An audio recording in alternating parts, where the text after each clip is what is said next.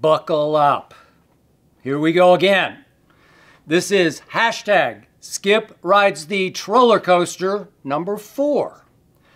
I'm about to rip through a whole bunch of your questions, some positive, some really negative, and these are the kinds of questions I could never answer within the confines of the debate show, the debate format that is undisputed. Again, that's 9:30 Eastern on Fox Sports 1 Monday through Friday. But here we go with question number 1 on the troller coaster. Dante from Harrison, New Jersey.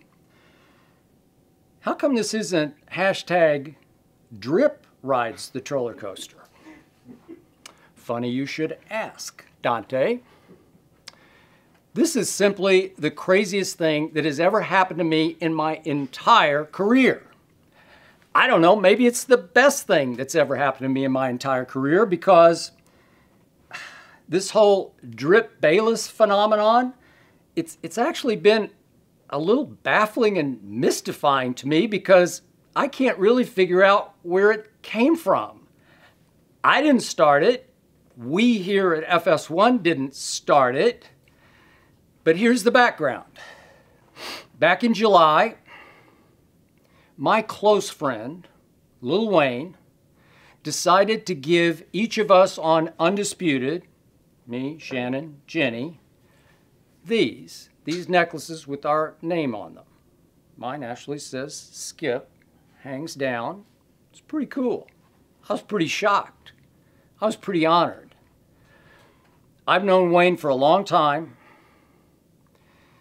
We connected a good 10 years ago through the show I did on ESPN First Take. And he simply has the biggest, greatest heart of any human I've ever encountered.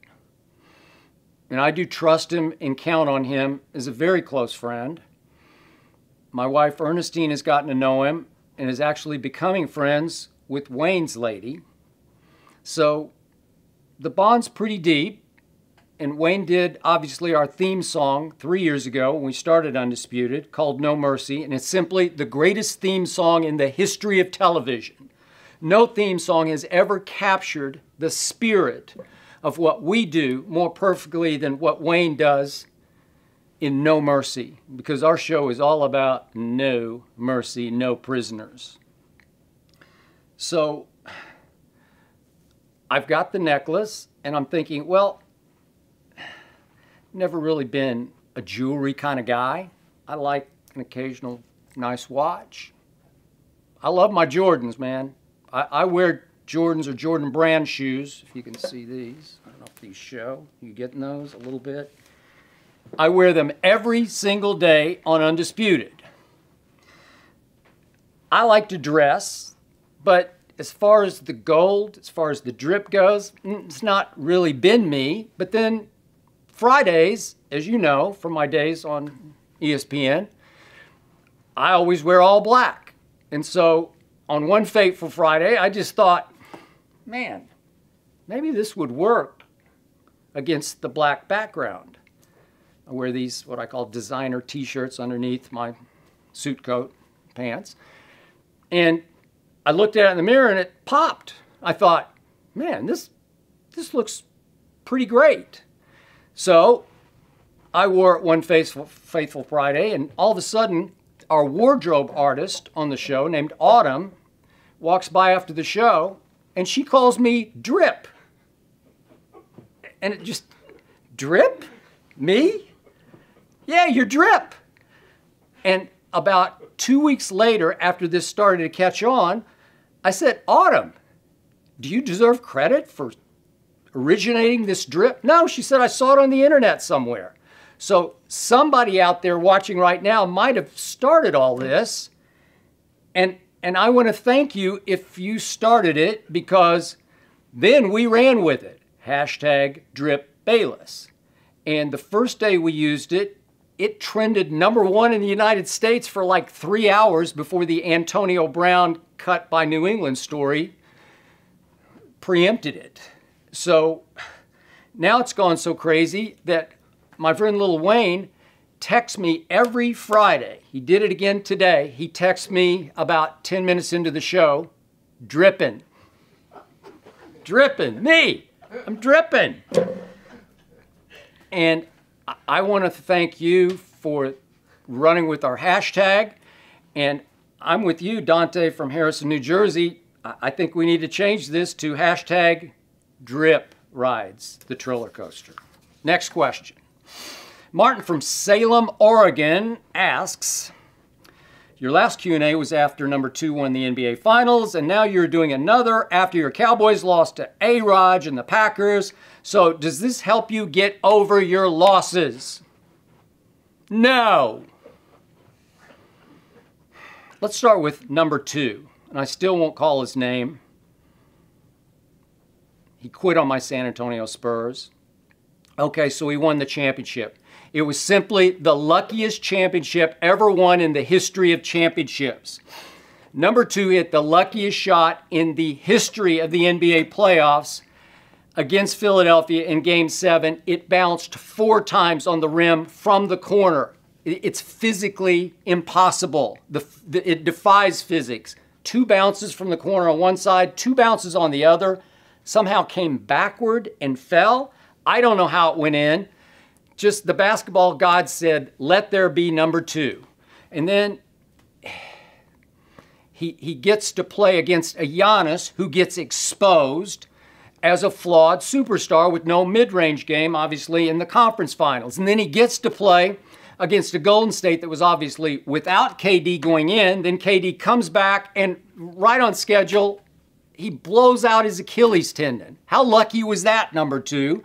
And then how lucky was it that the player I picked before the finals to be the MVP of the finals was starting to take over like an MVP, and Klay Thompson blows out his knee right on schedule. Okay? That's just luck upon luck upon more luck. I didn't lose one second of sleep over number two winning the championship. Which brings me to my Cowboys. Have I lost a little sleep? Yeah, I have. They've taken a couple of years off my life in, in the last two weeks. My defense horrifies me.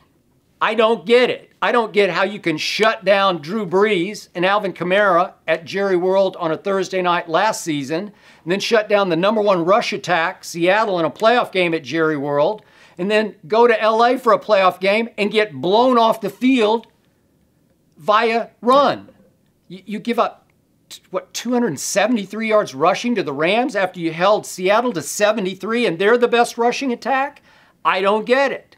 And then you go to New Orleans. Teddy Bridgewater's pretty good. Kamara's still there. Michael Thomas is still there. The defense is really good, but you keep Teddy Bridgewater and those guys out of the end zone. They don't score a touchdown. Then here comes Aaron Rodgers, who I, I am convinced he's got voodoo dolls. He sticks pins in Jerry's voodoo doll and Dak's voodoo doll and Zeke's voodoo doll before those games. And what happens?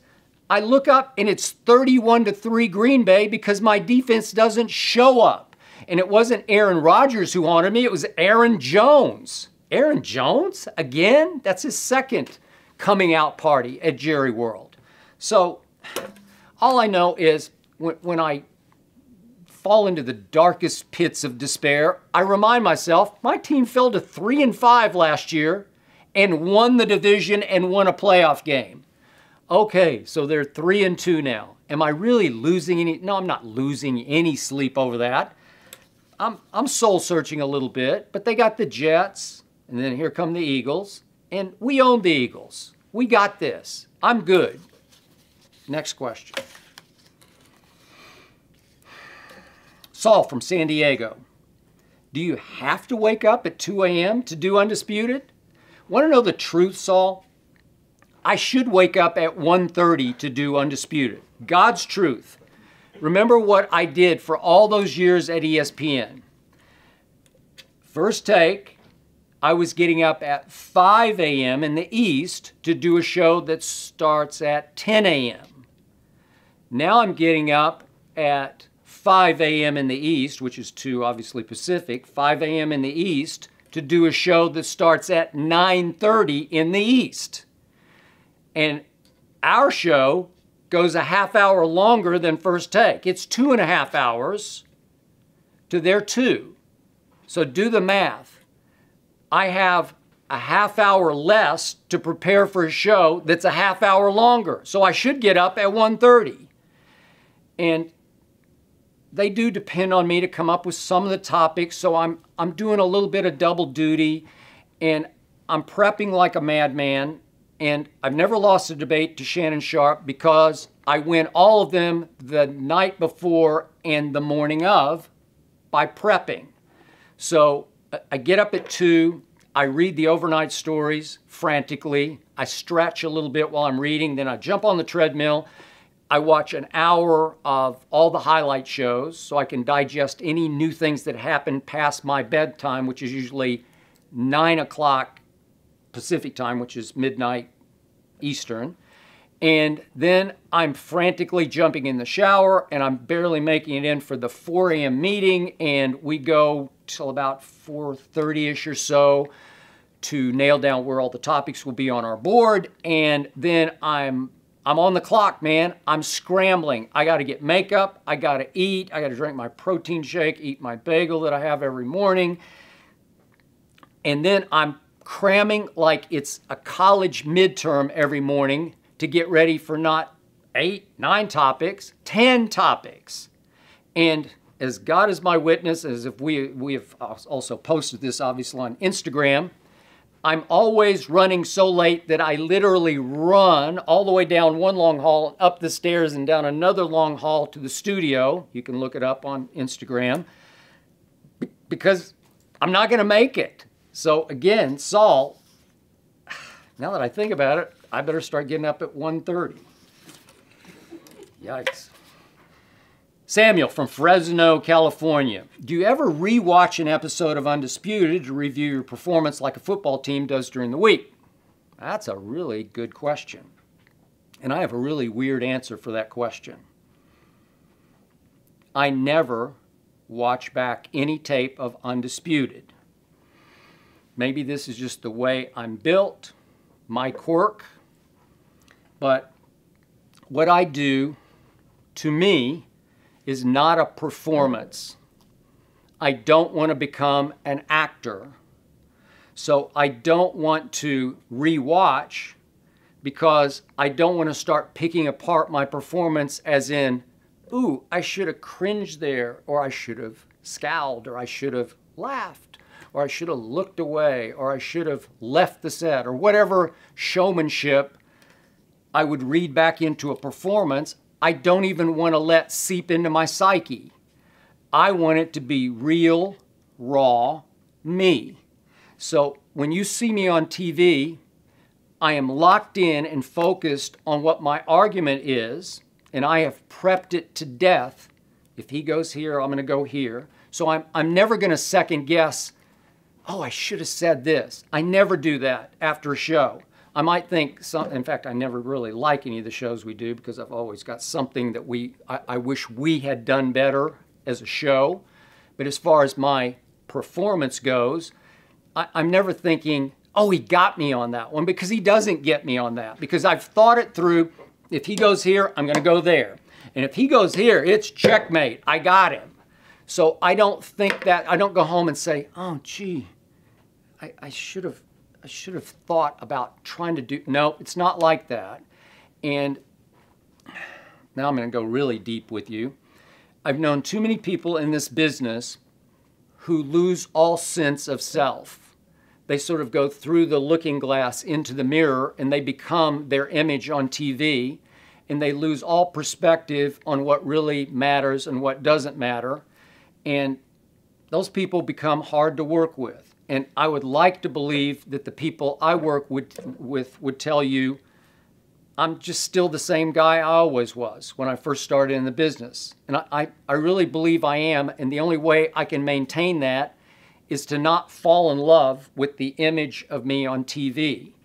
And the God's truth is that when I do occasionally by accident see a clip of myself, I'm, I'm shocked by it because I think, who is that guy? Because I'm just letting it fly. And I'm letting it fly right now. On to the next question. Isaac, Chevy Chase, Maryland. We know how you feel about Bill Belichick. Are Brady slash Belichick the best QB coach combo in the NFL? If not, who is? I'm going to have to go historical here for you because it's really the only good argument I have for this. Look, I do give Tom Brady 75% of the credit. I'm sure that infuriates Bill Belichick even more. And I do believe there is a deep, dark rivalry going on between that coach and that quarterback. And I believe that Belichick sometimes makes it harder on Tom Brady than he should. I don't think he sometimes gives him enough eh, as much help as he would deserve. And I still, I'll never forgive Belichick for that Super Bowl in which he benched Malcolm Butler for unknown reasons to this this moment. I have no idea. I think Tom Brady has no idea why that happened. It, it wasn't to discipline him for any off-field misbehavior that we know of. He just decided to go with Eric Rowe at cornerback after Malcolm Butler had played the most snaps on defense of any Patriot all season. And then he plays none in the Super Bowl, and they give up 41 points to the backup quarterback of the Philadelphia Eagles and lose 41 to 33 as Tom Brady throws for 505 yards, the all-time NFL playoff record, 33 points, the most scored by a losing team in the history of the Super Bowl, and he lost. And so that brings me to the greatest coach quarterback combo ever, and maybe I have a personal stake in this, but it was Bill Walsh and Joe Montana. I'm not saying Joe Montana is better than Tom Brady because I don't believe that, even though Joe went four for four in the Super Bowl with what should have been four MVPs. Jerry Rice got one against Cincinnati. He did not deserve, in my humble estimation. But I had the privilege of getting to know Bill Walsh, and I just think he was a greater coach than Bill Belichick because Bill Walsh simply created an offense called the West Coast offense. Bill Walsh had a hand in the 49er defense, which was hellacious good during that Super Bowl run. And Bill Walsh was at least as good an evaluator and picker of talent as Bill Belichick has proven to be, and he's been very good. I think Bill was better. I got to know Bill Walsh to the point that he once asked me to speak to a class that he was teaching at Stanford Business School. So I, I, spent a lot of time around him. And not only was he a genius, a real football genius, but he was really a good man. And I'm just not sure Bill Belichick is. Next question. Jordan from Kansas City, Mo start an NFL team with Baker Mayfield or Kyler Murray? After what you've seen from both, who are you taking? That's a great question and a close call for me. I'm going to go Kyler Murray. As I've said on Undisputed, I think Kyler somehow managed to have an even greater Heisman season after Baker than Baker had. That's hard to do. Can you top this? Baker shattered records, and then Kyler shattered Baker's records.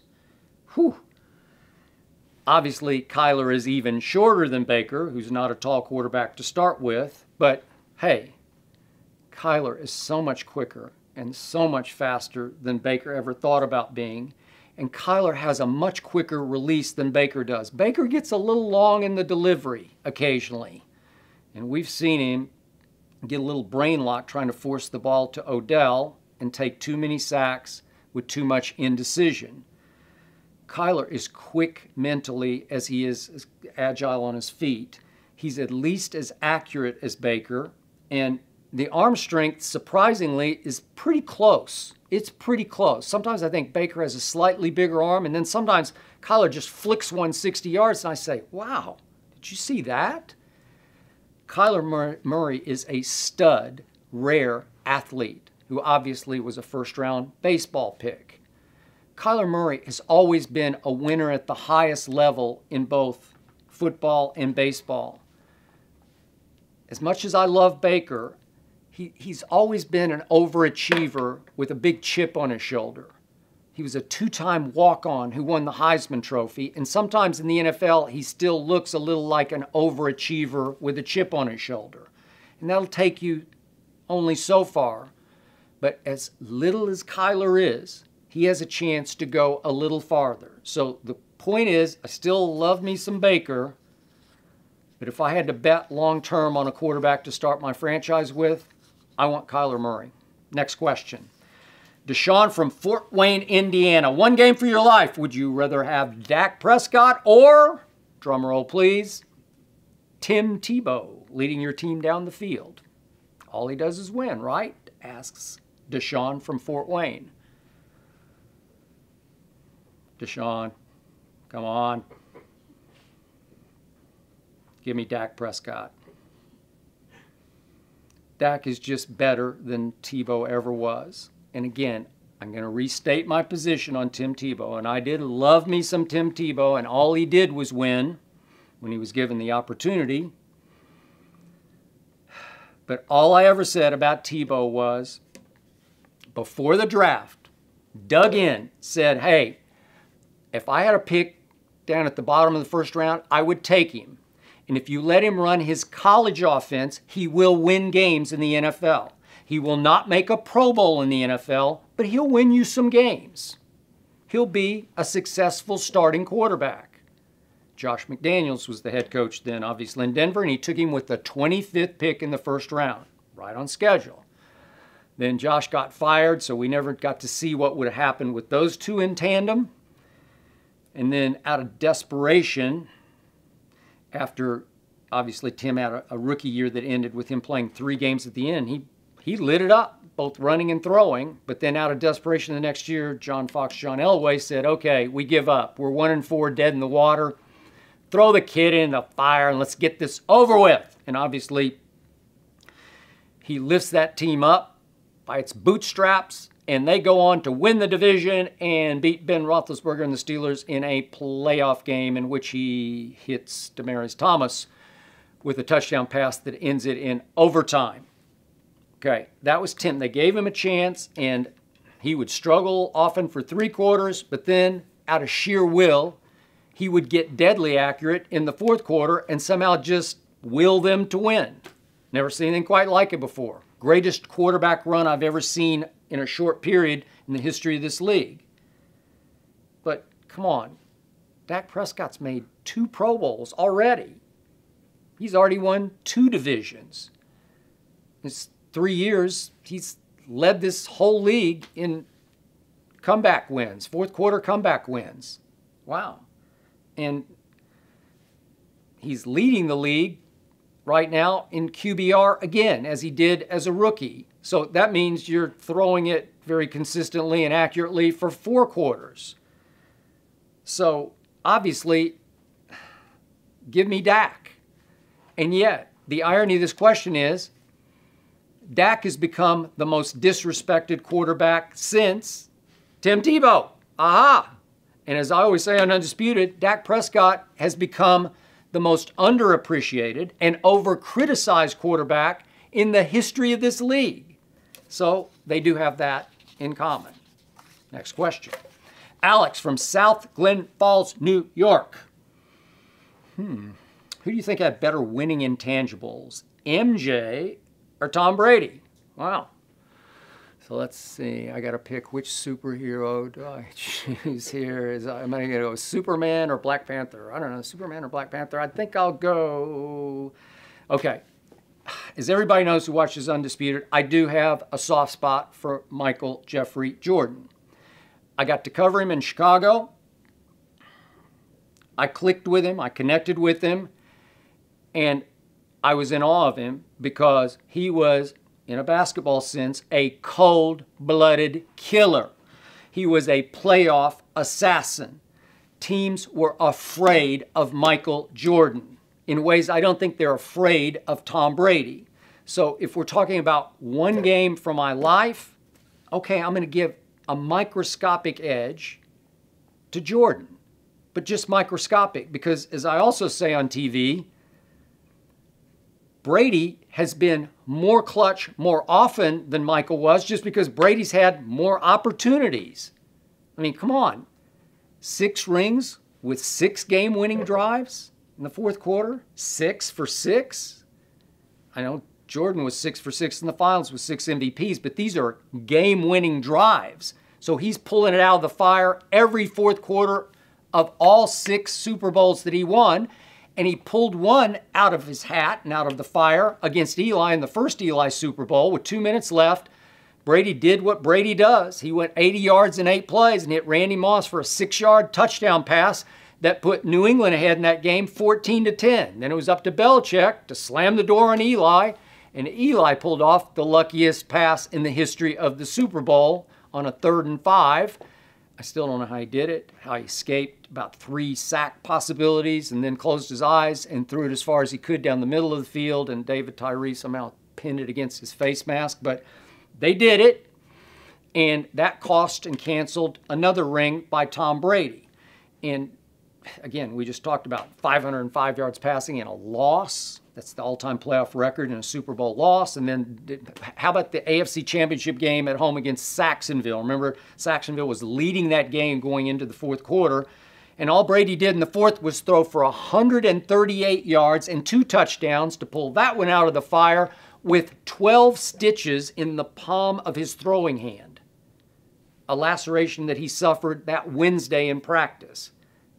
I mean, that's that's miraculous. So again, Brady's done it more often, but again, the cold-blooded killer here is that number 23. Next. Uh-huh. Claire from College Station, Texas. Looking back on it, what was the experience of having Ernestine on the show like? What was it like? Ernestine is my wife. Ernestine has written a book. I'm going to grab it right here pull it across if I can. Voila. It's called Balls How to Keep Your Relationship Alive When You Live with a Sports Obsessed Guy.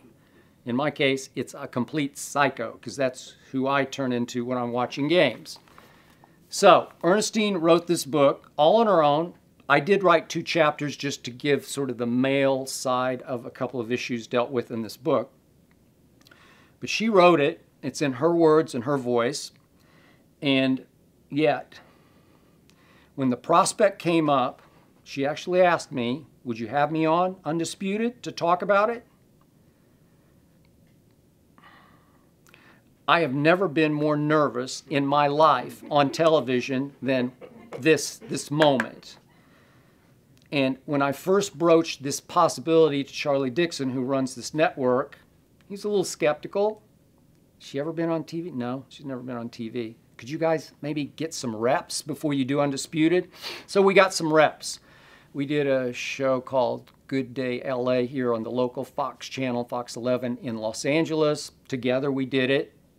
Worked okay. Then Ernestine did several by herself. She did Joy Taylor's podcast here. Obviously, Joy's on the herd, used to be on Undisputed. And I listened and I watched and I thought, you know what? She's pretty good maybe this would work. But on that day, in that break before she walked on, I was just horrified because I was nervous for her. TV is hard. It just goes so fast and hits you from all sides. And if you're not used to the RPM of it, it can just be overwhelming. And you can brain lock and you can faux pas and you can just go blind. And I'm worried for my wife because I'm, I'm afraid I can't protect her on this one. And of course, she came on and just took the show over. And I did tell Charlie Dixon, I, I predicted, I said, hey, I don't know if it'll work, but I think it'll rate. It's one of the top rated segments we've done in the history of Undisputed because I think everybody wanted to see what she looked like, how she come across, and can she hang with Skip and Shannon? Yeah, she kind of hung us out to dry. It's what she did because she sure upstaged me. And when it was over, I looked like a ghost because I was just reeling from the pressure of it all because I, I didn't want her to fail for our sake and, and also obviously for her sake. But she pulled it off. And would you believe this book, Balls instantly became an Amazon bestseller. And it's, it's pretty good, if I may say so myself. put it back over here. And I am so proud of her. And by the day, from my heart, I love her more and more because she just keeps surprising me with how well she's done with the book and with all the interviews. And we have a couple more scheduled, and I just hope she can carry me through them. Next question. Aha, Dorian from Stamford, Connecticut. If you were stranded on an island, which NBA player would you rather have with you? LeBron or, and I'm not going to say his name, number two? LeBron or number two on a That's a great question. Dorian, if I'm stranded with somebody, I want somebody that I can have at least an occasional conversation with. And number one, I don't want to talk to number two. I got nothing to say to him. He quit on my Spurs. I just don't like the guy, and I never will get over it. I never will forgive him. So that would be the first problem. And number two, number two never has anything to say to anybody. I don't even think he speaks. I don't know. I've never, I guess he spoke a little bit in the playoffs occasionally, but I don't know if that was really him or some sort of puppet that they put. I don't, I don't know. I'm not sure he speaks. So, so it would be like silence. It would be reverberating silence. It, it would be deadly. So give me LeBron James. Look, I, I like LeBron off the court. I've got my issues with him. I just don't think he's the truth on the court. And I definitely don't think he's the GOAT on the court, as my friend Shannon Sharpe always contends. But LeBron's smart. I think he has a good sense of humor. He has a great sense of of basketball, or no, not basketball, sports knowledge, and that's historical and current. He's really smart on sports. And what's more, he's a crazed cowboy fan. We'd have that in common. Wow, we could talk cowboys. Or we could go deep into conversation about LeBron. Why did you melt down like no superstar has ever melted down in that 2011 finals? What happened? What was going on in your psyche? And then what did it feel like when Ray Allen saved your legacy with that shot that shot me right in the heart, game six, 2013 finals? How did that feel? And then what about 2014, LeBron?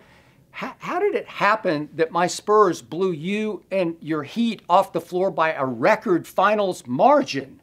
We could go deep into all those things, and the truth is, on a desert island, I would be LeBron's worst nightmare. Thank you for that question. Next question. Hmm. Deep. I'll take a run at this one. This is Daniel from Palo Alto, California. How would you describe Drip Bayless? Is he an alter ego? Is he a mindset? hmm. You know, I'm probably the worst person to ask that question of. I think my colleagues could give you a much deeper, better answer, much smarter answer, much better perspective. And that would start with my debate partner, Shannon Sharpe. But I'm going to be very serious with this, and this is just in my humble estimation. The single greatest compliment I've ever received in this business came one day on First Take, back in the ESPN days, when we had on Isaiah Thomas, not the current basketball player, but the Hall of Fame Detroit Piston Isaiah Thomas. And he said to me on the air, you would be welcome in any barbershop, in any neighborhood, in any city in this country. I get goosebumps when I read that quote because I can't tell you how deeply honored I am by that. And Shannon has said similar things on Undisputed. So, why is that? Again, I'm probably not the one to ask, but I'm going to tell you from my heart what, what I think operates here. I wrote about this in a piece that we posted on our Facebook page. It's been on my Instagram page called Here I Am. But I was mostly raised by a tough, sweet black woman named Katie Bell Henderson from the south side of Chicago. I grew up in Oklahoma City and I came from a very broken home. Both my parents were wrecks, so I often got left at my grandmother's. Katie Bell worked for my grandmother, who is not a wealthy woman, but she traveled for her job, which was in an organization called Eastern Star. She was always gone. So she depended on Katie Bell to run her household. And Katie Bell became my mother, my authority figure. She taught me everything I know about right and wrong, up and down in life. And when I was about five or six, she taught me the meaning of the word hypocrite because she called me one. She used to grab me by my collar and pick me up and say no to me. And I, I just learned everything I'm made of, I learned from Katie Bell. And in the summers, Katie Bell would have her granddaughter down from Chicago named Audrey. And this is when I'm six, seven, eight, nine. And I would hang out with Audrey all day long because I didn't have anywhere else to go, and neither did she. And we sort of make up games to play or play cards or whatever we would do. And we talked a lot about what's Chicago really like and what's Oklahoma City really like. And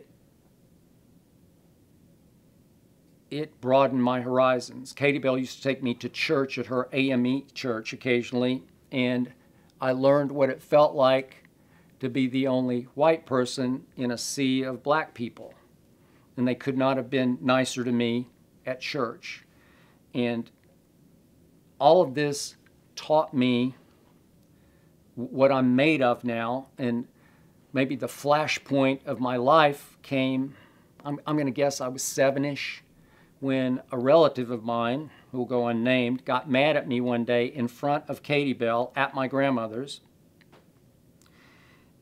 And called me the N word in front of Katie Bell. And I'm not talking about the modern day N word that ends in A. I'm talking about the one that ends in a hard ER that is spoken by white people to reduce black people to sort of subhuman status. And I knew what that word meant. I get chills when I tell this story but Katie Bell walked over to my relative and picked him up by his collar and looked him right in the eyes and said, Don't you ever say that word again as long as you live. And she meant it. And that stuck with me to the point that when Riley Cooper said what he said at a country western concert, you might remember a few years back, as he was a Philadelphia Eagle, I just railed on the air at the Eagles for not cutting him on the spot the next day because to me that word needs to be eradicated somehow from the English language. It's simply the most evil, vile word ever created. So that was my mindset as I began to move through life. And as I began to play sports, all the black kids I played with and against, they gravitated to me. I couldn't explain it. It was always a little mystifying, but they just liked me and I liked them. And as I began to cover sports, newspapers, radio, TV, I got along with the black players at least as well, if not better, than I did the white players. And I just felt more of a connection, a bond. I mentioned Michael Jordan in Chicago. I just clicked with him right away, and he did not click with many, if any, in the Chicago media. I don't know why, but that's just me and I'm going really deep here. Obviously, I've never tried to be black or act black. I'm just me. What, whatever my swag is, is straight from, from inside me. Whatever my confidence is, is my confidence.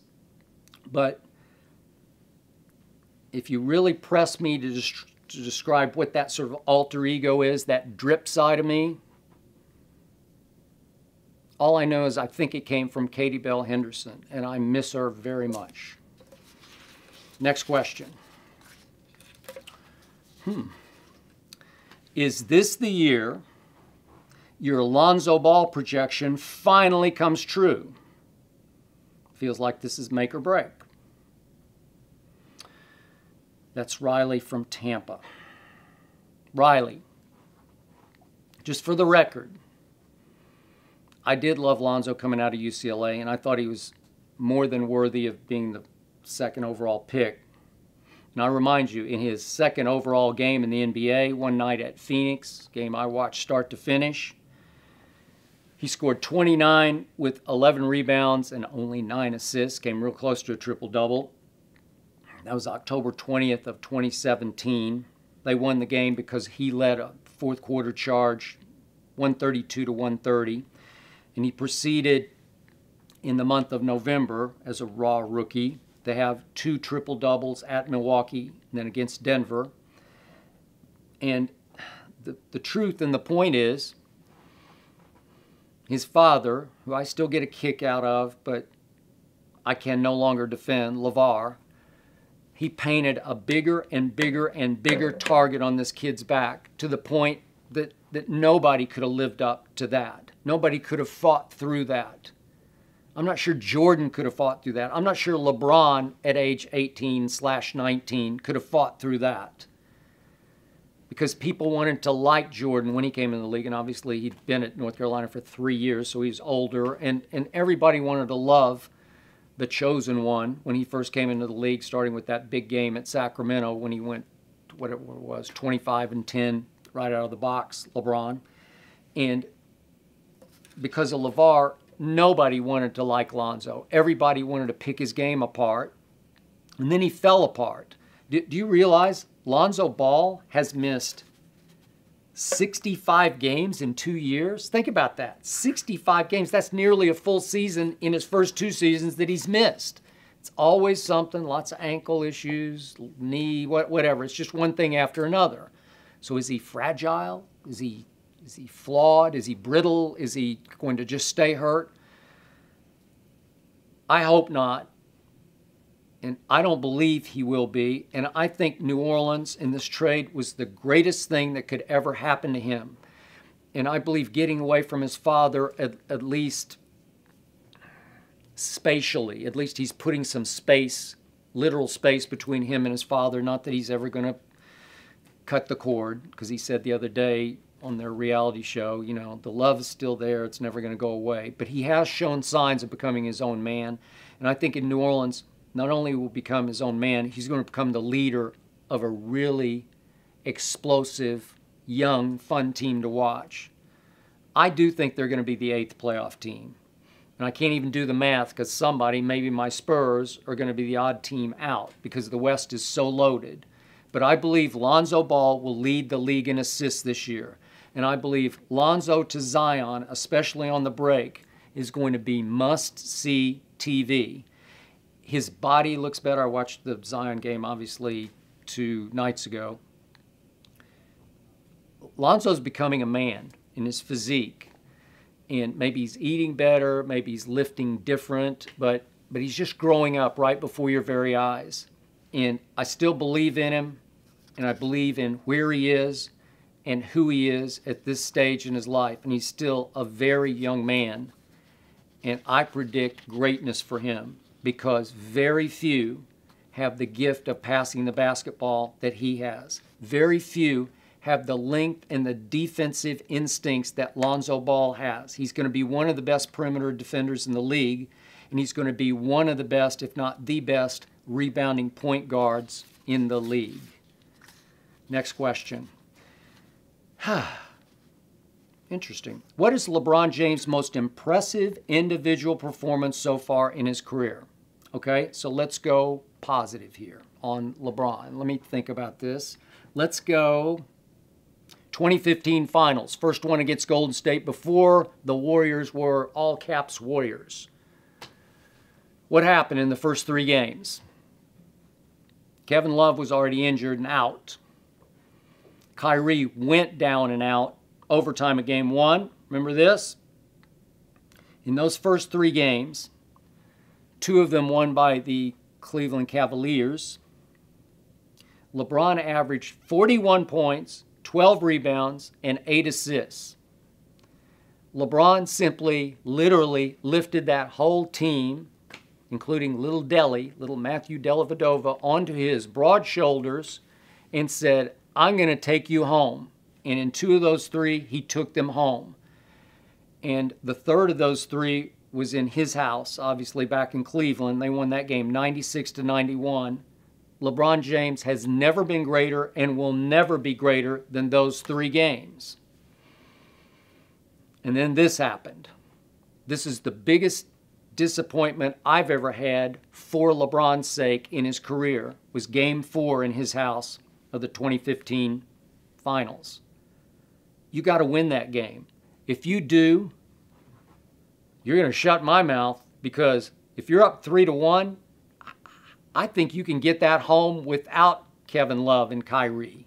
And if you get that home, again, there was obviously no KD yet with the Warriors, but but still, it's it's a younger Steph and it's a younger Clay and Draymond and Iggy. But but still, if you beat them there, th- then and there in Game Four, I think you you you start making it a real hot debate about goat.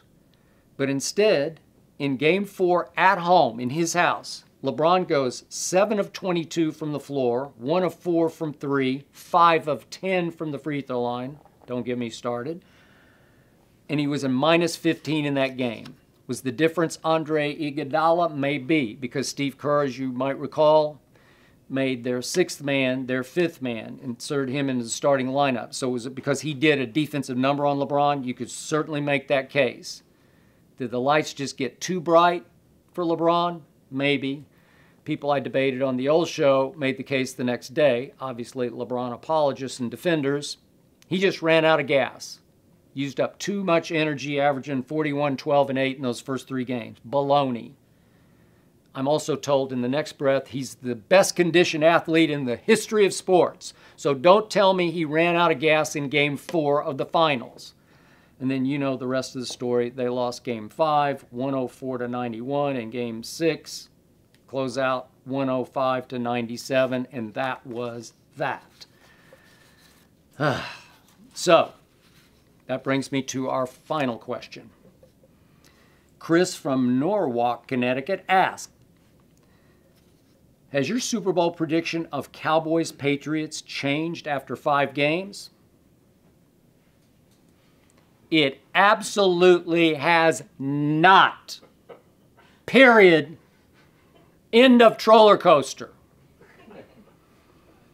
I want to thank all of you for all your amazing questions and for watching us on TV. I want to thank everybody for watching this. I want to thank my man Jonathan Berger and John and Jeremy for making this happen today. Thank you for all your help and support. And I will see all of you all Monday through Friday, 9:30 Eastern on Undisputed on Fox Sports 1. Thank you for watching. You can subscribe here to get the latest from the show and be sure to check out more of the best clips from Undisputed or go watch a few other segments from our other shows on FS1.